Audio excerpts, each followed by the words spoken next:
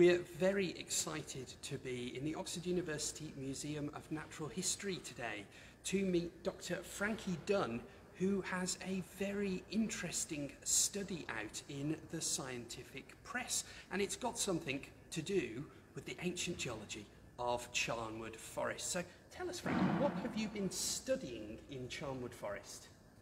Well, there are um, fossils within Charnwood Forest that date back to a geological period called the Ediacaran. So the Ediacaran span from about 635 to about 540 million years ago, so a very long time ago. And the fossils um, in Charnwood Forest are about 560 million years old.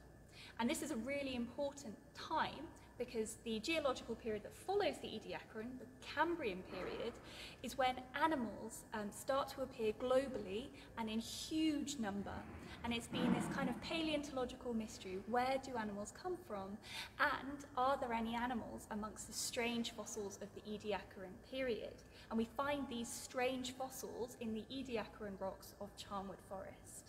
Um, and one fossil that I've been studying is called Charnia, and it's named after Charnwood Forest because that's where it was first uh, described.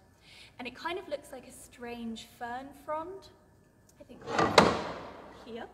We do. We're lucky enough to have a cast. This is a replica that's in the, uh, in the collections here of the museum. Do you want to take us through why is it so strange? So I guess if you um, had never looked at a charnia before, you might think that it looks a lot like a plant, like a fern.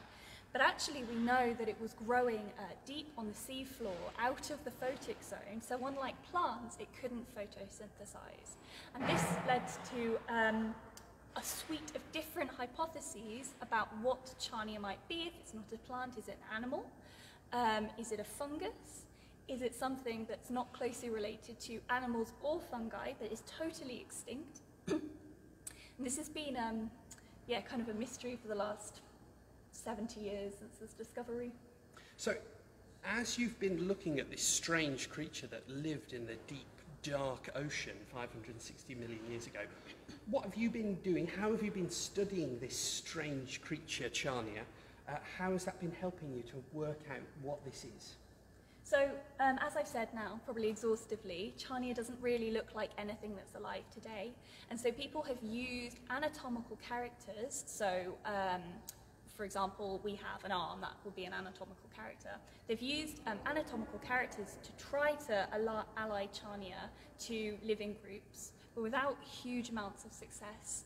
So I'm particularly interested in growth and development, and we we were able to study how Charnia grew because in Charnwood Forest there's a whole population of Charnias uh, ranging from about 2 centimetres to about uh, 45 centimetres on one single fossil bed.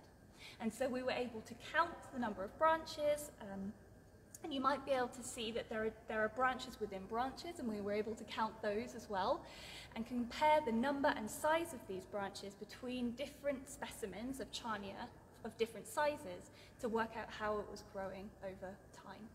So there's a very special place in Charnwood Forest. Unfortunately, it has to be kept secret because it's so important to paleontologists. And at this site, there are these wonderful, wonderful specimens. And you've been measuring them all, putting all of that information together. Now, tell us, what's the big result? Charnia grew um, like animals grow today. And the way Charnia grow, it's not just like animals, but it's not like lots of other things, uh, like fungi, to which Charnia has been previously compared. Um, and we can use this growth data alongside other facets of Charnia's anatomy to work out exactly where in the animal tree of life Charnia sits. Um, and we recover it as most closely related to a group called the Eumetazoans. So that includes jellyfish, um, insects, and us. So it's most of the diversity of living animal life.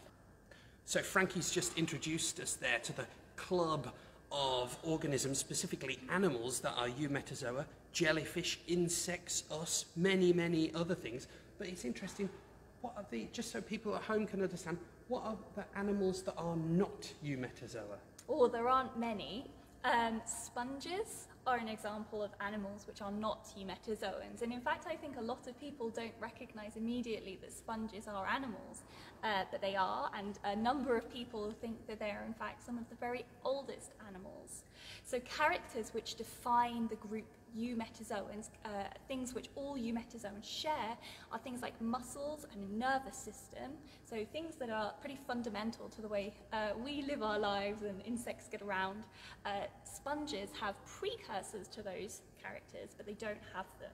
They haven't evolved along um, in evolutionary history at that point. So Frankie and her international team, including colleagues from across the UK and Russia, have shown that Charnia found and first described from the rocks of Charnwood Forest, is not only an animal, but is a specific type of animal known as a eumetazoan. Now, final question, Frankie. Why does this matter? What does this tell us about the world that we live in? What does this tell us about Earth history? What's, what's the, what's, why is it so important that, that this Ediacaran organism was a eumetazoan? Well, from a scientific perspective, uh, as I've mentioned ad nauseum, we've not known what Charnia and its relatives are for a really long time. Um, and I hope, if I'm correct, this goes some way to addressing this outstanding paleontological mystery.